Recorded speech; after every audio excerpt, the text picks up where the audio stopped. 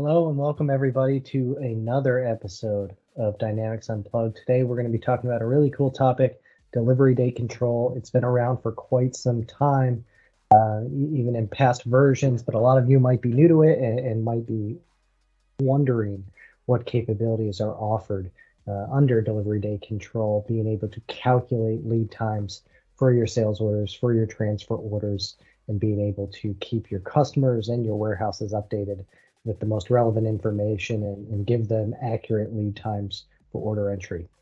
So I'm going to start off with a quick description over what some of the capabilities are, and then we're going to go into a, a pure demo, really.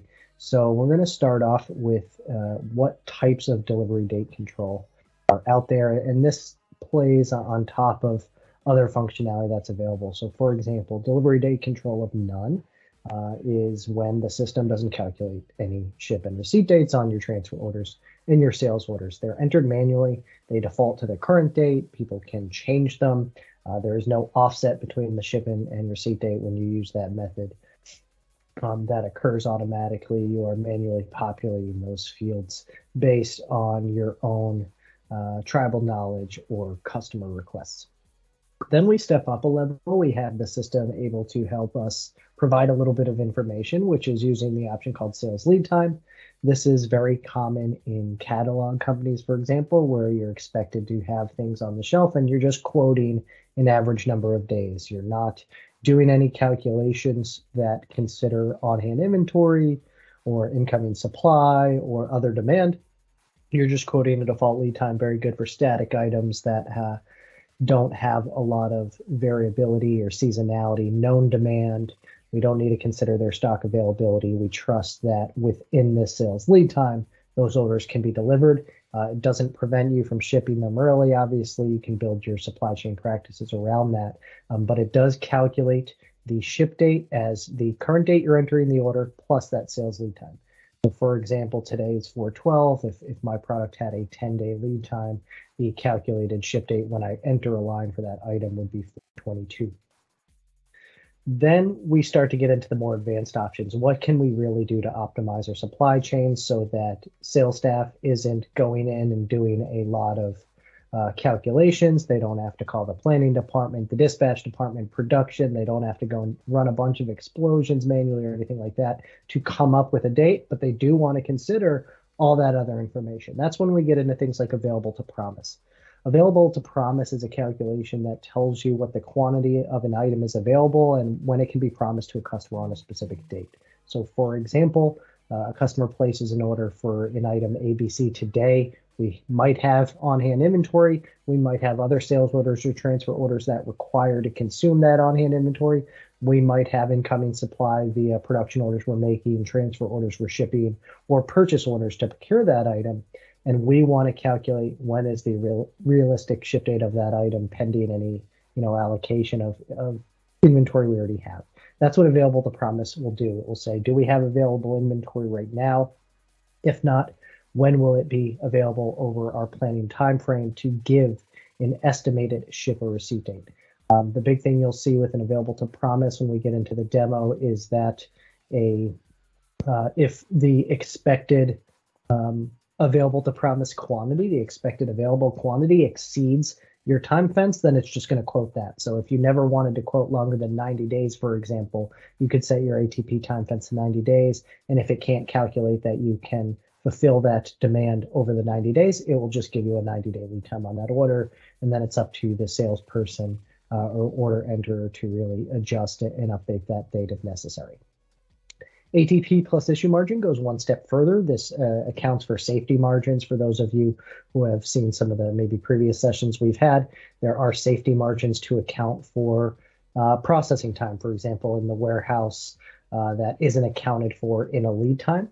So we might have a one or two day issue margin to offset that lead time, one or two days to account for things like preparing shipments um, after the inventory is already made available for packaging, labeling, um, getting it through the warehouse. That issue margin is required to prepare the items. Um, you you can have that on the master plan or the coverage group. You shouldn't have it in both places, otherwise they add together to give you an even larger buffer. Um, but the calculation in general, ATP, ATP plus issue margin is the same. One just considers the issue margin while the other one does not.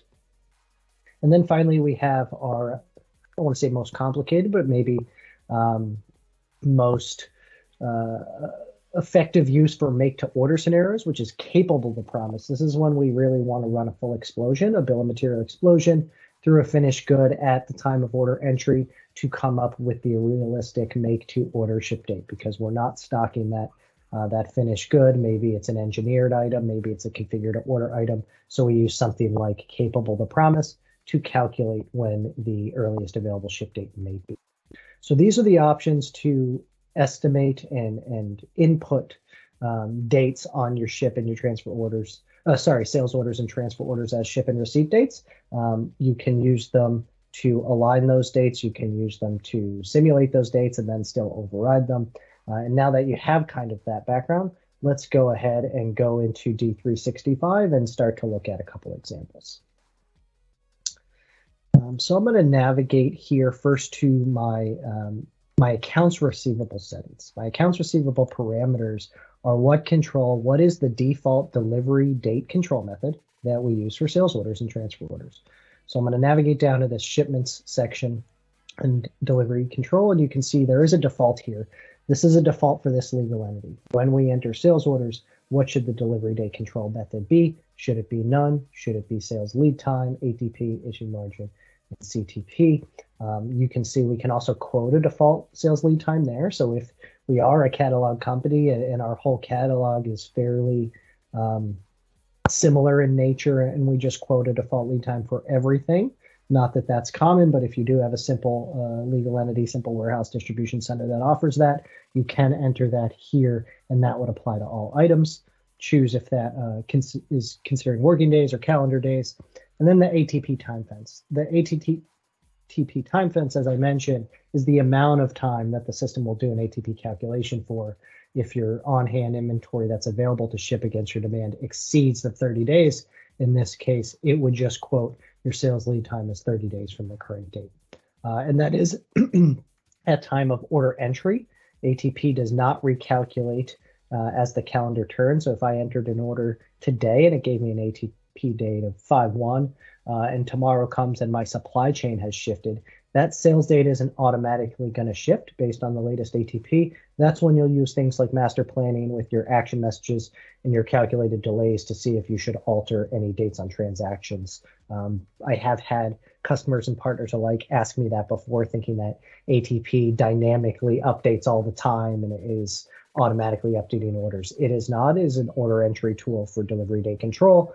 And then you use the other functionalities in master planning to update and maintain those dates. So here is the default parameter at the legal entity level. What you will notice as I navigate to an item is that we have the ability to override that or to specify that more granularly at an item and item warehouse level. So we will choose Drew's Gray IPA as the beer of choice today, and we'll go ahead and, and we'll look at our default order settings, which we have looked at before in, in previous examples or demos. Uh, and we're going to scroll down um, both you'll see in the inventory section for the purpose of transfer orders, and then down here in the sales order section for the purpose of sales orders, we have those same set of parameters. So if I clicked the override delivery control like I did here on this item, that means I'm ignoring the parameters in the AR parameter section and specifying what my delivery date control settings are for this specific item at the site or warehouse that I have uh, set up here. So you can see for Site 2 Warehouse 24, I have ATP turned on for Drew's Gray IPA. My time fence actually looks out 180 days uh, compared to the 30 day time fence we saw in the legal entity parameters. Uh, and I'm not including planned orders as part of that.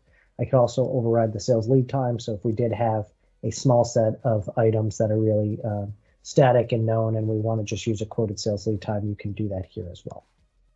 So you have the AR parameters, we have the item specific parameters. You guys have seen what options uh, are available. Well, now let's go ahead and, and actually apply this to a sales order. Um, so I'm going to go to the sell tab. I'm going to go to open sales order lines to see what existing SOs I have out there. And we'll actually use one of those to kind of manipulate uh, and see the dates on our orders. So we'll take order uh, 1116 here. We can see we have a sales order for 440 liters And if we go to the delivery tab, we can see that this is currently controlled with uh, with ATP and, and, a requested ship date in February of, of, next year, actually, and a confirmed ship date of August of this year. Now, if this was a new sales order, uh, there's really kind of one or two things I could do to to simulate that date or to get that date. So one is I enter all lines and then I want to kind of do a delivery date control on everything on the order because we're doing a ship complete or I can run it individually from the line down here in the delivery tab. Um, so if I was doing it uh, uh, on the header, I suppose, I could come in and, and, start to mess around with my sales order.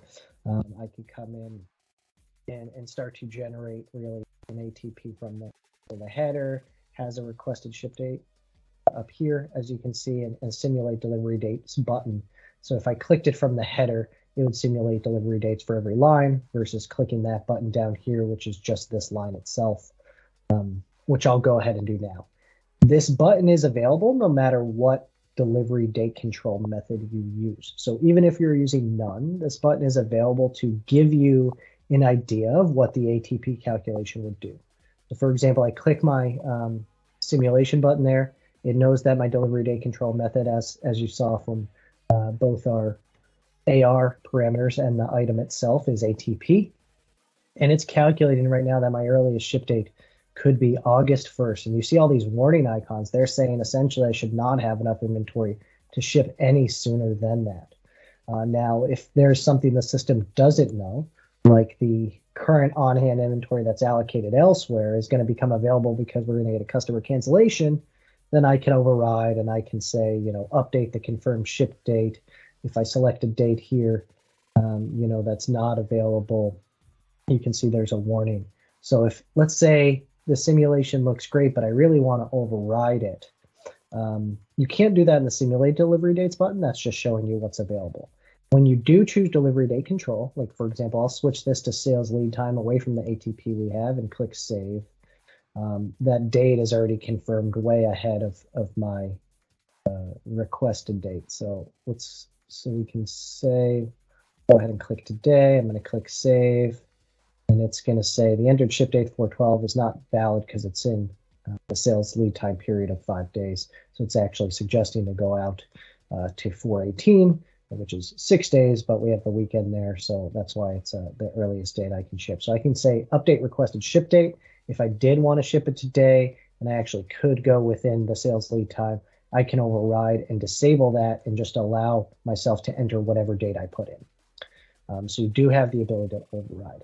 Now what happens though, let's say we, we started with sales lead time or we started with nothing. Now we want to go to ATP. I'll switch that. I'll click save. Um, we still have that confirmed ship date of, of 8-1 there because it already was on ATP and it thought that date, but all we really saw is that it told us we could have that date, right? If I click simulate delivery dates, it's not going to tell me a whole lot of information other than, hey, it's 111 days away is the earliest you can do it. And maybe I want to know why. Um, so one of the most overlooked things is you can actually access this information straight from the sales order line as well. I'm going to minimize some of my screen just to make that a little bit more easier to see. What you would do is you'd click this product and supply button, and you will have the ATP uh, information available to you from there as well. This is going to show a little bit more of a graph. And it starts with here's the quantity on your order line, which you can edit because maybe they want you to do simulations. You know, when can it ship if I order 10 units? When can it ship if I order 20 units, 50 units, and so on? And what about this warehouse versus that warehouse? And it's going to tell you the date. ATP, this is the quantity I can promise on that date. On hand is my current on hand. And then this is if there is a receipt, incoming inventory, or an issue, outgoing inventory, or consumption, sales, things like that, on that date. And it's always going to update the ATP quantity based on receipts, issues, and on hand. So you can see I can ship up to 410 units, but not quite the 440 on my order. And then it's really until May that we start to see some movement.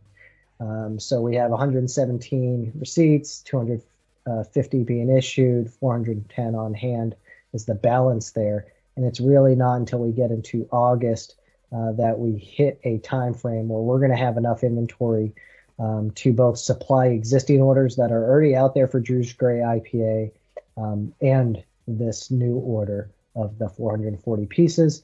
You might think, hey, we have 543 pieces on hand. There's 440 on this order. Why can't I deliver it? Um, we don't see the receipts and the issues right on today's date, but that could be outstanding orders that haven't been fulfilled, back orders uh, on previous days that are consuming or already allocated to that on hand. Um, so here we really just need to look at the ATP column to determine when is the quantity that we want going to be available. That might lead us to say, hey, customer, you know, 440 is not available till 8-1, but 410 uh, are available now. Do you want to reduce your order size or take a partial and take the rest later on? So that ATP is really, really powerful in helping us determine what are our possible dates to hit, uh, allow us to adjust those dates. It's going to consider other things as well, which I haven't touched upon. I really just touched upon delivery date control, but it's going to factor in your calendars. Those could be your warehouse calendars. Those could be your customer calendars if they only accept shipments or deliveries on certain dates um, for vendor purposes when it comes to planning out and running explosions on purchase items. We're going to consider their calendars. Uh, any transport that you have set up in a transport calendar um, would be taken into consideration as well. So, for example, on uh, deliveries, if you've mapped your modes of delivery to uh, to transit times or between warehouse transit times, like for example, I'll click on um, sorry, not my delivery terms, but my delivery mode back here on my order, you can see that I could actually set up a transport calendar for when things are uh, delivered by truck uh, and come up with how, uh, what are the transit times between warehouses or between my warehouse and customers based on that uh, that mode of delivery. So we have a working time calendar here um, that is associated with that transport calendar of, of 24 hours.